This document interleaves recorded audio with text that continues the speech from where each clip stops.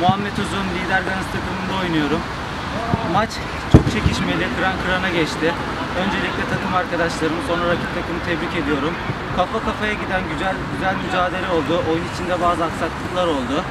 Ona rağmen kazanmasını bildik. Böyle devam edecek.